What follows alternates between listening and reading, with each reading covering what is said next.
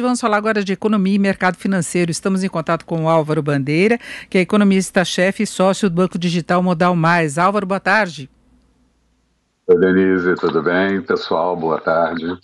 Álvaro, nós temos agora o mercado aqui até tranquilo, no mercado brasileiro, nós já estamos chegando no finalzinho do mês de junho. Semana passada foi uma semana de pressão, de muita volatilidade. Agora, Álvaro, falando em termos de perspectivas da economia, a gente tem visto muito sobe e desce do mercado financeiro em função dos números relacionados ao coronavírus, especialmente no exterior.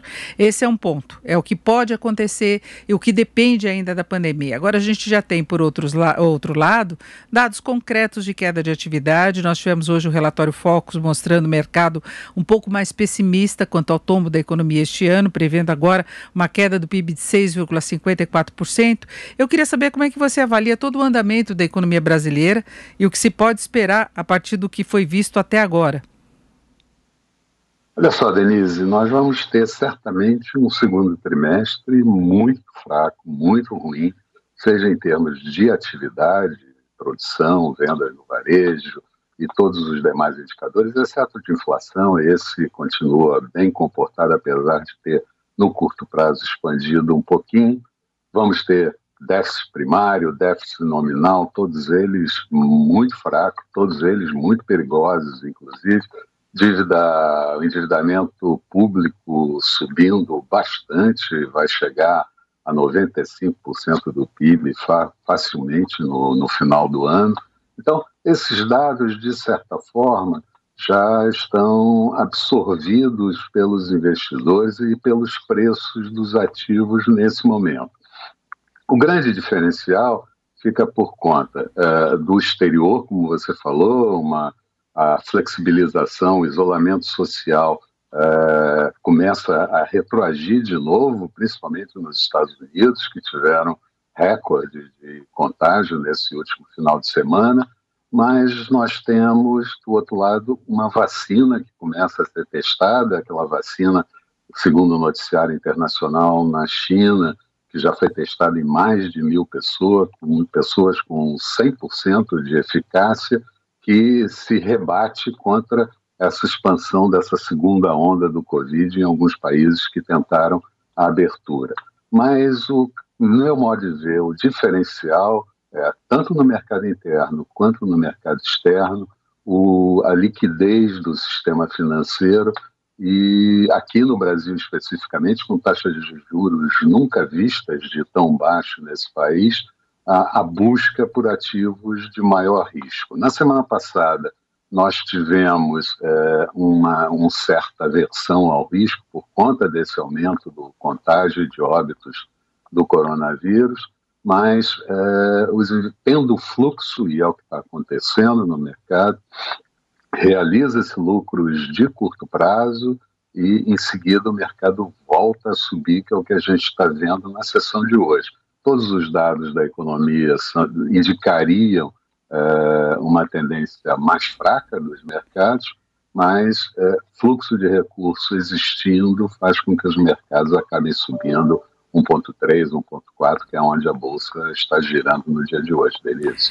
Agora, Álvaro, você falou dessa questão de contas públicas e nós tivemos as contas do governo central com rombo de 126,6 bilhões no mês de maio, recorde histórico, a gente pode esperar até mais recordes, já supera com folga o que foi registrado durante todo o ano passado, que foi um saldo negativo em 95 bilhões, e as projeções só pioram, né? Porque é possível que o governo tenha que prorrogar auxílio emergencial, quer dizer, ele vai prorrogar o que a dúvida agora é, é o tamanho né, se continua igual ou não.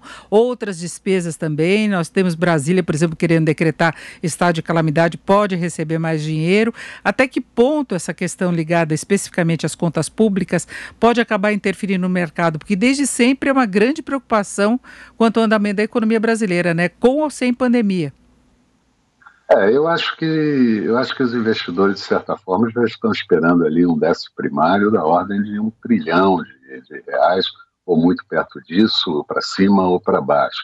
Quer dizer, na verdade, a, a preocupação está um pouco mais além do que isso. Quer dizer, o que, que vai acontecer no pós-crise? E aí o Brasil tem uma, uma experiência muito ruim uh, de não fazermos o dever de casa, de não depois que essa crise terminar, é, botar a economia no eixo de novo, controlar despesas, ao invés de aumentar impostos, que é sempre a coisa mais fácil que nós fizemos quase que a vida inteira nesse país. É, tem um déficit, aumenta imposto, no, no final das contas acaba se pagando, ou pelo menos equilibrando dentro de um patamar ruim. Eu acho que esse tempo acabou.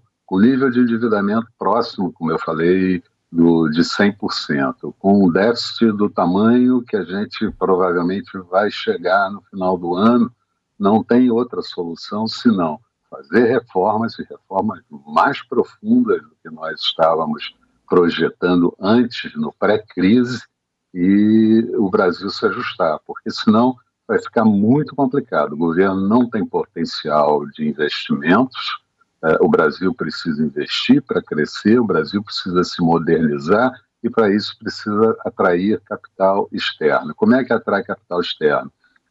Com segurança jurídica para os investidores de longo prazo. Agora mesmo nós tivemos o marco regulatório, o texto base do marco regulatório de saneamento sendo aprovado na semana passada pelo Senado. Precisa de outros marcos regulatórios também importantes e precisa fazer todas aquelas reformas.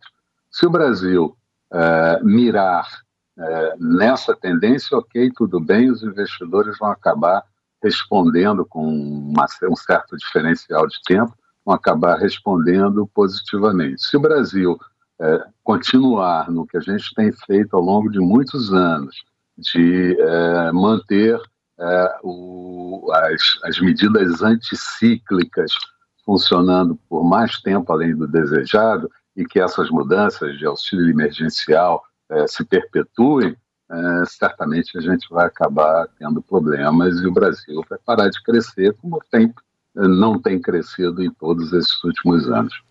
Ah, agora, Álvaro, falando de dados negativos, nós tivemos há pouco a divulgação dos dados do CAGED, eu não sei se deu até tempo de você ver, eu estou com esses números não. agora, houve o fechamento de 331,9 mil postos de trabalho, 332, né, mil arredondando, aí, e isso no mês de maio, foram os dados do CAGED divulgados agora há pouco, e, e, curiosamente houve uma melhora em relação ao primeiro mês né, de impacto mesmo negativo uh, sobre mercados de trabalho, foram 902 mil cortes, né? Em abril as demissões superaram as contratações em 902.841. Então houve uma acomodação. Você acha que isso gera uma expectativa um pouco melhor ou o que está acontecendo na informalidade acaba confirmando aquelas projeções mais negativas quanto ao desemprego?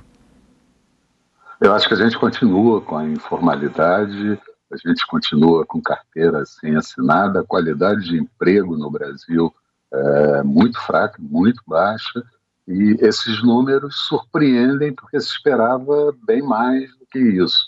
Mas é, eu acho que é meramente episódico, porque a gente ainda vai ter uma segunda onda, já que a gente é, ainda nem passou da primeira onda do Covid, a gente ainda vai ter uma segunda onda de demissão a partir é, dos próximos meses. Então, eu acho que esses números vão continuar também muito frágeis, muito prejudiciais para a economia como um todo. É, aí, para detalhar um pouquinho mais, as demissões chegaram a cair no período, registraram 1 milhão e 35 mil, recuo de 20 por, 21% em relação a 1 milhão 315 que foram registradas no mês de maio. A queda maior foi das contratações, que dá até para a gente imaginar que alguns setores muito específicos é que estão contratando agora, aqueles que saíram bem nessa situação toda de pandemia, mas não deixa de chamar atenção. São né? poucos é que são muito poucos os setores que saíram bem.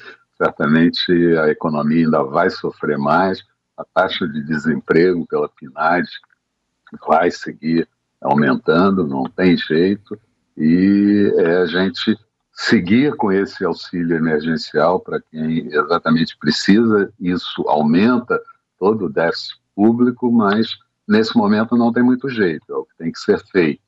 O problema, como eu disse, é o pós-crise. Como é que nós vamos ajustar tudo que foi feito é, para tentar mitigar, para tentar reduzir os impactos na economia pelo Covid-19 e depois ajustar, inclusive, todas as nossas contas, porque nós, nós entramos nessa crise é, com uma situação bastante ruim.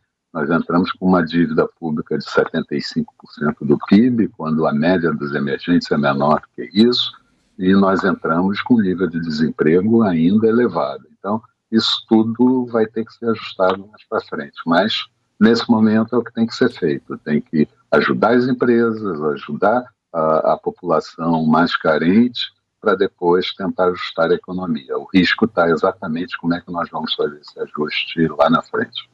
Agora, Álvaro, para encerrarmos, uh, não, não é uma coisa meio ilusória ou muito frágil você ter a sustentação da recuperação do mercado por um excesso de liquidez? Ou você acha que em determinado momento os próprios números da economia acabam sustentando essa recuperação?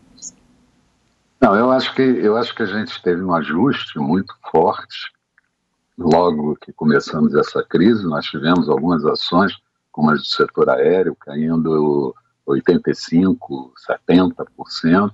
Uh, o mercado voltou a descobrir um ponto de equilíbrio por esse fluxo de recursos entrantes, basicamente de investidores locais e não de investidores estrangeiros, já que o investidor estrangeiro já tirou 76, um pouco mais, bilhões nesse ano que passou dos mercados, da, da Bovespa especificamente, mas é, nós vamos ter que, que lidar com essa situação. Agora, uh, ainda é cedo para se pensar em bolha. Eu já tenho ouvido muita gente falar, não, mas se tem fluxo lá na frente, vai ter uma bolha. Ok, lá na frente pode ser até que nós tenhamos uma bolha, mas o mercado vai ter que subir mais forte do que esse patamar onde ele está.